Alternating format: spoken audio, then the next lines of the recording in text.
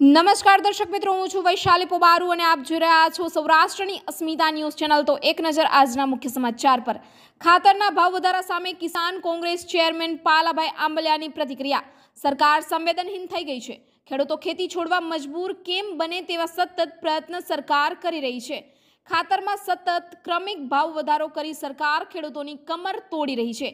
ખાતર ઉત્પાદક કંપનીઓને એક લાખ પાંત્રીસ હજાર કરોડની સબસિડી આપવા છતાં ખાતરમાં ભાવ કેમ વધે છે? જો સબસિડી આપીએ તો ભાવ કેમ વધે છે? જો સતત અને ક્રમિક ભાવ વધે છે તો સબસિડી શા માટે આપવામાં આવે છે? બ્યુરો રિપોર્ટ, સૌરાષ્ટ્રની અસ્મિતા ન્યૂઝ ચેનલ. સરકાર ખેડૂત ખેતી છોડે, મજબૂર બને, મજૂર બને, એટલા માટે સતત પ્રયત્નો કરે છે. એક બાજુ ખેડૂતોને વીજળીની જરૂરિયાત છે ત્યારે વીજળી નથી આપતા, પાણીની જરૂરિયાત છે ત્યારે પાણી નથી આપતા.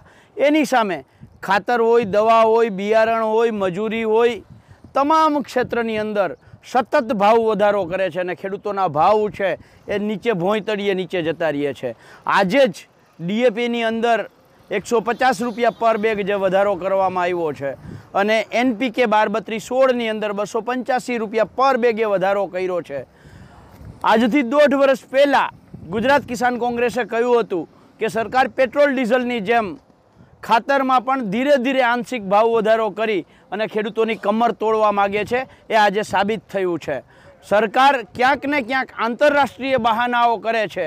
જે આફત છે, એને અવસર ગણી અને ખેડૂતોને કેવી રીતે મારવા એના સતત પ્રયત્નો કરે છે અને એના જ ભાગરૂપે આ ખાતરની અંદર ભાવ વધારો થયો છે.